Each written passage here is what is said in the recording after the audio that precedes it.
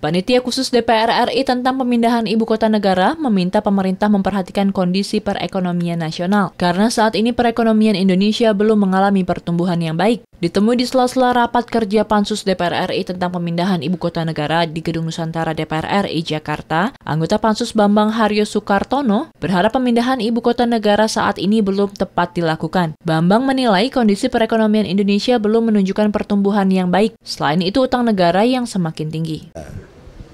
Uh, ini kan satu wacana yang disampaikan Presiden ya, uh, yang menurut saya uh, belum waktunya untuk disampaikan sekarang karena mengingat kondisi ekonomi kita ini adalah yang seperti ini, uh, apa ini hutang begitu banyak, uh, cukup berat lah bagi negara kita. Tapi uh, ini tetap dilakukan oleh Presiden dan kita akan melakukan satu evaluasi.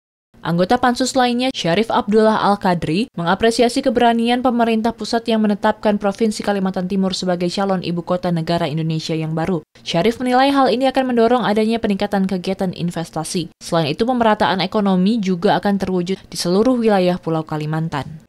Ini harus betul-betul serius dan kemudian didukung segala segala aspek yang lain ini betul-betul sudah siap gitu. Soalnya kalau tidak, Ya, ini kan priorisasi pemerintah nih se ada batas waktu. Lima Hilman Hidayat dan Ridwan, TVR Parlemen melaporkan.